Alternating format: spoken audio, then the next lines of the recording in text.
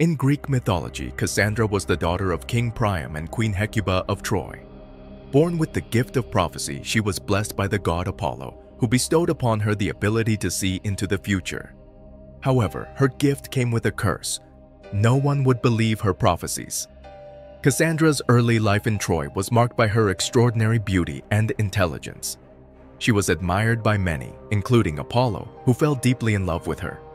In some versions of the myth, Cassandra reciprocated Apollo's affection, while in others she rejected his advances. Make sure to subscribe for more interesting stories.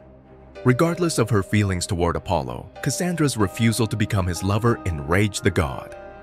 In his wrath, Apollo cursed her so that although she could accurately foresee the future, no one would heed her warnings or believe her predictions.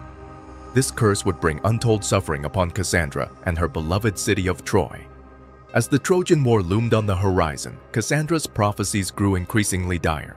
She foresaw the Greeks' deception with the Trojan horse, warning her fellow Trojans of the impending danger.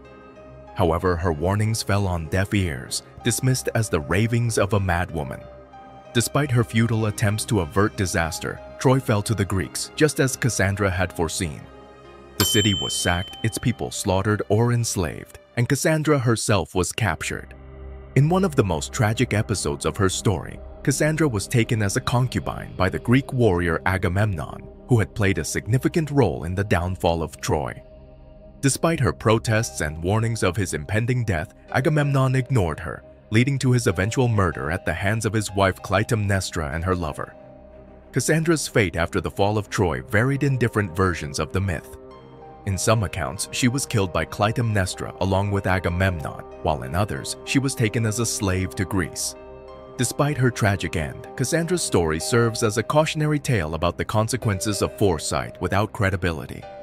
Her plight embodies the Greek concept of hubris, the overbearing pride that invites the wrath of the gods.